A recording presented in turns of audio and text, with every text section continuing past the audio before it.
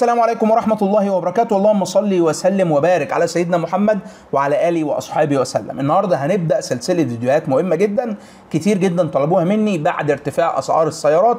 قالوا لي اتكلم شوية فيديوهات الصيانة وفيديوهات التعليمية. فحبينا نبدأ بفيديوهات الصيانة. لذلك أول فيديو مطلوب طبعا في الوقت الحالي هو إزاي توفر من البنزين بتاع العربية. الفيديو بتاع النهارده فيه 10 نصائح ذهبية. لو اتبعتها هتوفر أكتر من نص استهلاكك للبنزين بالظبط. حاجات مهمة جدا هقول لك عليها في العربية لازم تراجعها من بكرة عشان تتأكد إن كل حاجة مظبوطة. توفير البنزين مهم جدا بعد ارتفاع الأسعار الرهيب. خليني أقول لك إن دايما النصيحة الأولى عندي اللي بقولها على طول وهفضل أقولها في كل مرة فول العربية بتاعتك الصبح بدري. بلاش تروح تفول العربية بتاعتك في وسط النهار أو بالليل خليك دايما تفويل السيارة يكون الصبح بدري وأنت رايح الشغل. لأن الصبح بدري البنزين بيكون في قلب التانك بتاع البنزيمة مظبوط ما فيش فيه هواء ولا فيه بخار ولا فيه أي حاجة. فالبنزين بالظبط لو أنت حاطط 10 لتر هينزلوا لك 10 لتر في التانك. طبعا ده لو البنزيمة مش سارقة في البنزين زي ما إحنا عارفين. إنما في وسط النهار بتحس إن البنزين بينقص يعني ممكن ينقص في ال 10 لتر نص لتر. فلذلك أول نصيحة فول عربيتك الصبح بدري. تاني نصيحة على طول تعالى نتكلم عليها تكييف العربية. إحنا كده كده داخلين على الفترة بتاعت الخريف والشتاء فاستخدام التكييف كده كده هيبقى منعدم في الشتاء. ولكن الفترة دي لسه في ناس بتستخدم التكييف لأن فعلا الجو بالنهار بيكون حر شوية فما تحاولش تعلي التكييف على الآخر. ودايما في الطرق الزحمة اعرف إن التكييف بيستهلك كتير. دايما يقول لك استهلاك التكييف لكل 10 لتر في لتر حط معاهم لتر زيادة للتكييف. أنا بقى بقول لك في الطرق الزحمة ما بيبقى الطريق واقف كل 10 لتر ضيف معاهم 3 لتر بنزين تاني في استهلاك التكييف في الطرق الزحمة. فتقليل استهلاك التكييف دي تاني نصيحة هتوفر معاك كويس في البنزين. النصيحة الثالثه بص دايما على بوجيهات عربيتك. لازم تتأكد إن البوجيه بتاعك مش محروق ومش بايظ ويكون سليم زي الشكل اللي قدامك. ده الشكل اللي قدامنا في بوجيه محروق في بوجيه سليم. احتراق البوجيهات في السيارة بيؤدي إلى استهلاك بنزين زيادة دايما. فدايما راجع البوجيهات بتاعت العربية بتاعتك وتأكد دايما إن هي مظبوطة وكل 40000 أو 60000 على حسب أنت متغير على قد إيه؟ غير وما تستناش على البوجيهات كتير. النصيحة اللي بعد كده هي فلتر الهواء. لازم تتأكد دايما إن فلتر الهواء بتاع العربية بتاعك محترم نظيف ما فيهوش شوائب ما فيهوش أي حاجة لأن دايما فلتر الهواء أول حاجة بتتسد من التراب ومن العفرة ومن الكلام ده. طلع فلتر الهواء بتاعك دايما وحاول انت تنفخه كده بال blower أو أنت في البنزينة بتفول أو أنت بتغسل العربية دايما أكد إن أنت لازم تطلع فلتر الهواء وتنفخه بالهواء عشان يكون كويس ما فيهوش أي تراب. وكل فترة في الصيانة الدوريه بتاعتك غير فلتر الهواء تغيير فلتر الهواء باستمرار ومعاه كمان فلتر التكييف بيخلي العربية توفر في استهلاكها للبنزين. بعد كده النصيحة المهمة ما تقعدش دايما تحرق على الغيار في عداد ال RP عداد ال RPM زي ما انت شايف قدامك كده في أرقام.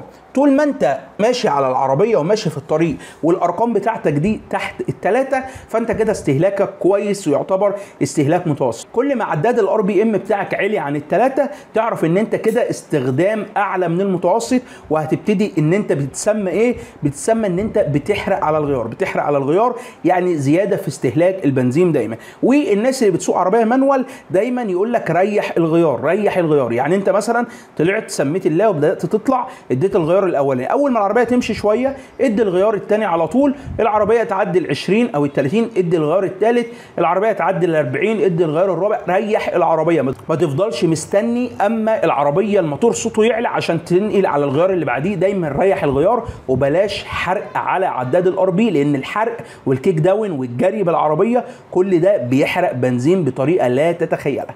النصيحة اللي بعد كده المهمة اللي دايما بقول للناس عليها البوابة بتاعة العربية. في ناس كتير بتقول لك لا ما تنضفش بوابة العربية ده غلط. وفي ناس بتقول لك لا ما فيش أي مشكلة. من التجارب بتاعتي إن ما فيش أي مشاكل بتحصل من تنظيف بوابات العربية. هل العربيات الجديدة أو العربيات موديل السنة بيكون فيها مشاكل؟ أعرف ناس كتير برضو بينظفوا البوابات ما فيش منها أي مشكلة والدنيا مظبوطة جدا. تنظيف بوابة العربية وحل المشاكل اللي فيها من شانها إن هي بتوفر في استهلاك البنزين بتاع العربية دايما. على فكرة تقدر إن أنت تنظف بوابة العربية دي بالمادة اللي قدامك ديا العلبة دي؟ بتقدر إن أنت تجيبها وبتوصل البخاخ بيها وبتبدأ ترش في قلب البوابة بتاعة العربية. وبمن... وبمنديل بتمسح كده الشوائب اللي جوه بوابة العربية بتطلع منها حاجة زي الهباب الأسود كده.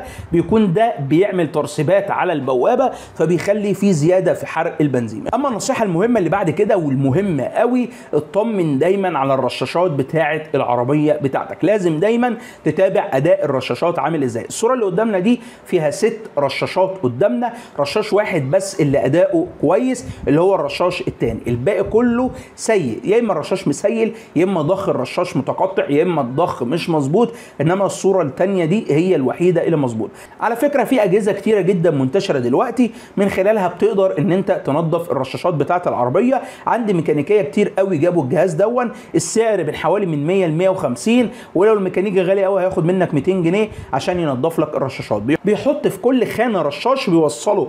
بقلب وصله كده الرشاش ده بيخش فيه بنزين وبيخرج من الناحية الثانية بيختبر أداء الرشاشات ومن جوه من ضخ البنزين والخروج والدخول بيعمل عملية تنظيف لأي شوائب جوه الرشاش. فدايما أو كل فترة مع الصيانة الدورية لو لقيت الميكانيكي بتاعك بيقول لك أنا عنده الجهاز ده حط على طول الجهاز ده وقول له نظف لي الرشاشات كل فترة كده مع كل صيانة دورية مثلا 60000 نظف الرشاشات عشان تطمن على الأداء بتاع الرشاشات. النصيحة اللي بعد كده هي دايما اتأكد إن ضغط الكاوتش كويس وإن الإطارات مظبوطة. ما ينفعش يبقى في كاوتش مريح وإنت ماشي. أي ترجيحه في الكاوتش هتخلي استهلاك البنزين يعلى مع حضرتك.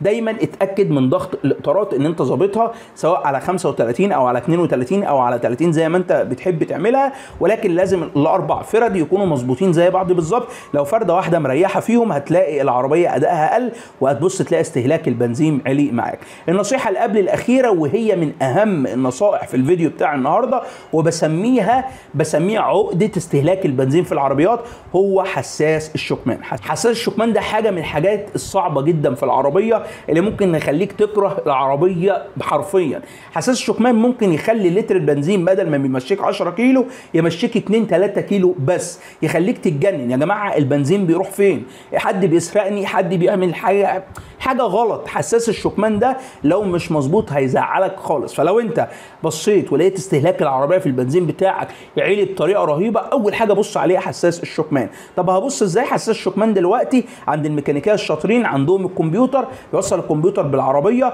وبيقول له على طول حساس الشكمان مظبوط ولا لأ. لو في أي مشكلة بتظهر عنده دايما. حساس الشكمان دايما اهتم بيه وليه أعراض تلف. لما تلاقي بنزين عالي معاك وتلاقي حساس الشكمان ده تصدق أو في مشاكل بتلاقي دايما في مشاكل جاية من حساس الشكمان.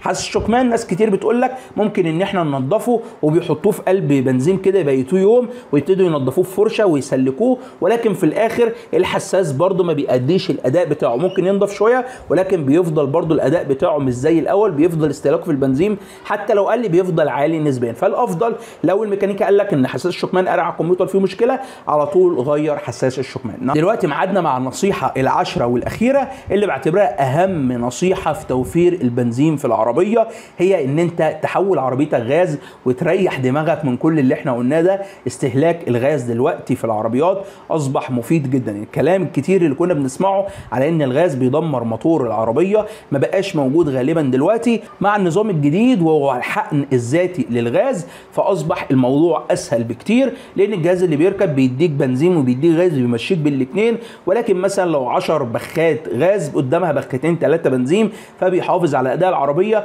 وب 3 جنيه 75 المتر فبيوفر عليك كتير. فكانت النصيحة الأخيرة اللي أنا شايفها وإن أنا نفسي أعملها برضو إن أنت تحول عربية غاز لو الموضوع صعب عليك. ده كان فيديو سريع من سلسلة الفيديوهات التعليمية إن شاء الله اللي هنعملها الفترة الجاية. جمعنا الله وإياكم في جنة عرضها كعرض السماوات والأرض. والسلام عليكم ورحمة الله وبركاته.